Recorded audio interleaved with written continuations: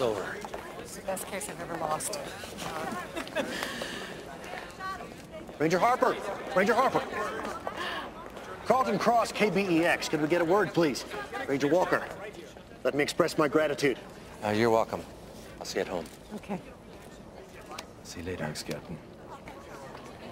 Before we get to the Q&A, I just wanted to say there comes a time in every man's life when he has an epiphany. where he is forced to reconsider his beliefs,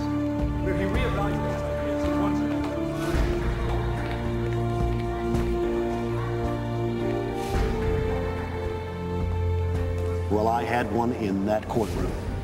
That isn't all you had. You're right about that.